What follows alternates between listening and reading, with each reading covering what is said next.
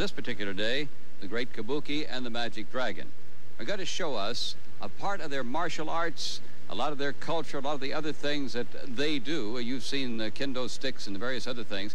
And it was very nice of you, Gary Hart, to allow us to come in today. I see the Cubs must have won last night because you always wear your jacket after a victory. As far as I'm concerned, the Cubs win every time they play. you Cub fans. Well, we can't say the White Sox don't win every day. But again, thank you very much for the opportunity of showing us and talking about what uh, Kabuki and the Dragon going to do and how they work out.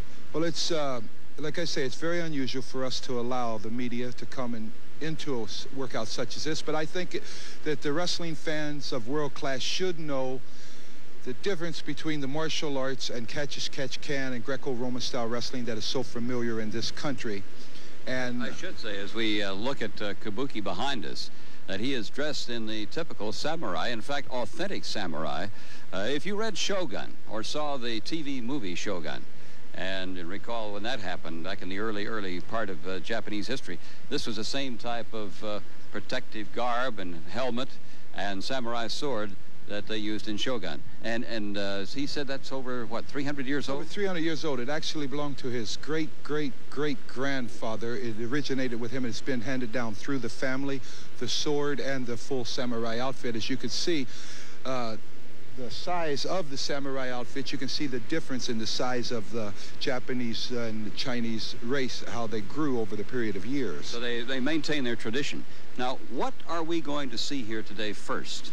Well, first, I think what we would like to show is uh, the basic difference between the martial arts. As I have said before, that uh, Gung Fu started it all. It's the granddaddy of all the martial arts, and everything was derived from that. Uh, the jiu-jitsu was uh, derived from Gung Fu by the Japanese, and karate, more or less, was taken uh, by the Japanese and then into uh, Korea. But the granddaddy of them all is Gung Fu.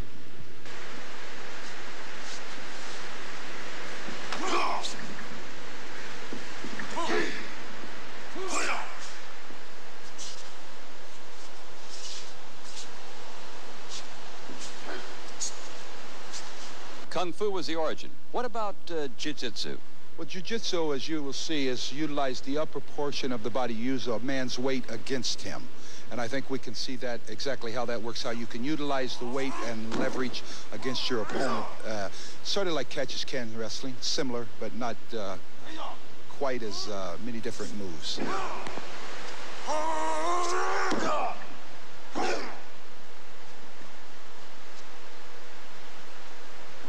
Gary, then in jiu-jitsu, you would come to me and I would defend, but in karate, I would I could be the attacker then. Karate is the attack. That's basically uh, the gist of it. In jiu-jitsu, I would use your weight and your leverage to my advantage. In karate, I would use my knowledge to attack you in the best way I could.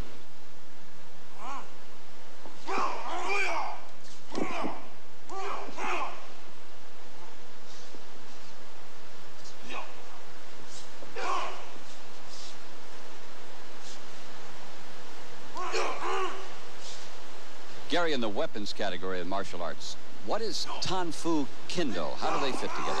Well, uh, the first would be, uh, I can't say the word as well as you. Tanfu? Tanfu. It's similar to a policeman's billy club, but you have uh, handles on the side. And then the kendo stick is a bamboo stick that is used more or less for pain than it is to actually hurt anyone severely. It's a kendo stick uh, made of bamboo, slit four different ways. As you whack the skin, it sort of pinches it together.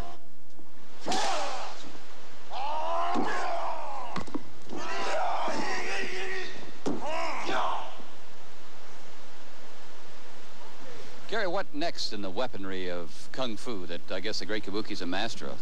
Uh, Kabuki's extraordinarily good with the nunchucks. I think that uh, you'll be very, very interested to see how he could utilize these and the way he trains with them for speed, timing, the whole aspect of the martial arts.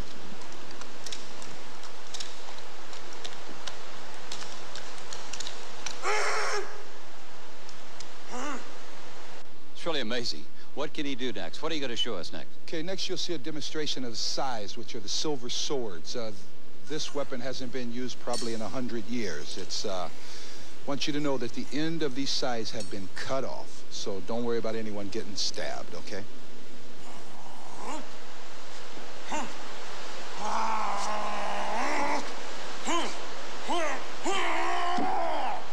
Thank you very much for allowing us in to see this demonstration today. It was outstanding. You're more than welcome, Bill. And I think one thing you might uh, agree with, that anyone who tries martial arts should have expert instruction before doing any of this. It's the premier thing is your own safety, especially with the nunchucks. That's very important because a lot of people do use them.